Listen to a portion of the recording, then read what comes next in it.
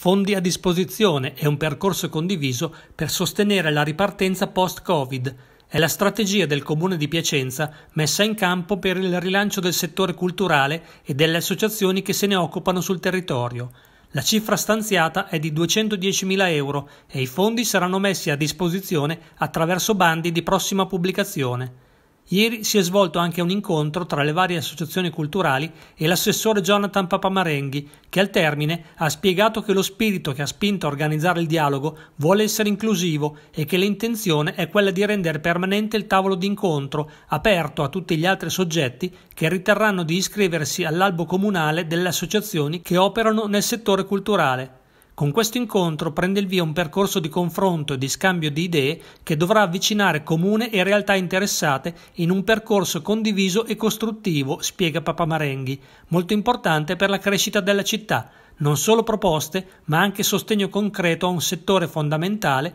che se lasciato solo rischia di morire. Oltre alla richiesta di ulteriori location per le tante attività delle associazioni piacentine, è emersa da parte di tutti la necessità di una nuova collaborazione, richiesta che rientra proprio nello spirito di questi incontri, puntualizza l'assessore. Un approccio per sostenere e aiutare le associazioni che intendono impegnarsi sul fronte della cultura dall'autunno 2020 fino a tutto il 2021, nel quale Palazzo Mercanti ha inserito appunto lo stanziamento di 200.000 euro. Il bando per accedere ai contributi stanziati, spiega l'assessore, sarà aperto a tutte le realtà culturali del territorio, a prescindere da chi ha partecipato o meno alla riunione, con l'impegno di accogliere la richiesta arrivata da tutti i soggetti di impegnarsi per quanto possibile a dare continuità negli anni a tale tipi di bandi.